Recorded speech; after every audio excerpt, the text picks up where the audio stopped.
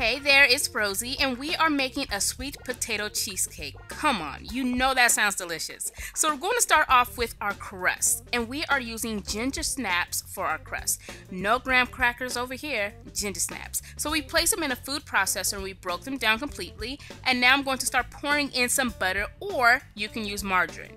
I'm going to use this fork to make sure those two ingredients are well combined until it resembles wet sand. And then I'm going to prep a pie dish and I'm going to just spray some baking spray in there. And now I'm going to place my crumbs at the bottom of my pie dish and I'm going to use my hands just to press it down. And we want to make sure this is well molded around the pie dish.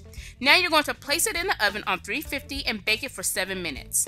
Now it's time to work with our cream cheese. Now what we want to do before anything, we want to whip it up nice and fine so it's nice, fluffy, airy, and smooth. And then we're going to pour in some granulated sugar. Mix those two ingredients and now let's add in some vanilla extract. I like pure vanilla extract by the way. And I did add in some eggs. So mix those ingredients until it's nice and smooth and now it's time to work with our sweet potatoes. Now I chose to use canned sweet potatoes. If you want to use fresh that is fine. I'm just going to mash those sweet potatoes and now I'm going to pour in some melted butter or margarine. Let's sprinkle in some ground nutmeg along with some ground cinnamon I'm going to add some brown sugar. You can use light or dark.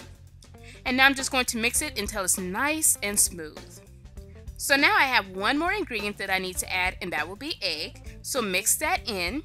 And if you are liking these holiday recipes, please be sure to give it a thumbs up so I know I would really appreciate that. So please do that before exiting this video. And now it is time to build our cheesecake. Now what I'm going to do, I'm going to pour in my cream cheese filling first and then I'm going to follow up by adding scoops of my sweet potatoes. Now, if you want to add the sweet potatoes and the cream cheese and just mix it all together, that will be fine. But I like my cheesecake to be a little textured, so I'm going to just add a couple scoops of the um, sweet potatoes, and then I'm going to use my spatula here, and I'm just going to make some swirls. So it's almost marbled, and now we are ready to bake it. So I'm going to leave it uncovered, and I'm going to place this cheesecake in the oven on 350 Fahrenheit for 35 minutes.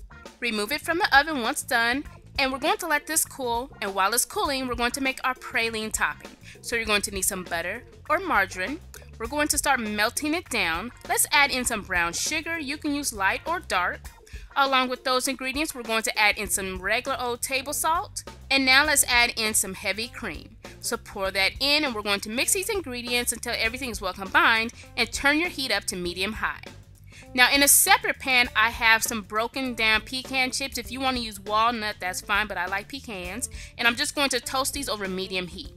Now after about five minutes, my mixture over here is bubbling away. We're going to remove it from the heat. We're going to add in our pecans. And now we're also going to be adding in some vanilla extract. So again, this is removed from the heat and we're going to just mix everything until it's well combined. And now it is time to dress up our cheesecake.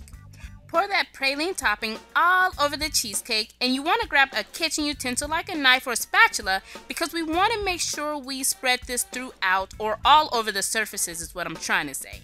Now what you want to do now is cover this cheesecake, place it in the refrigerator for 4 hours and then your cheesecake is ready to be served.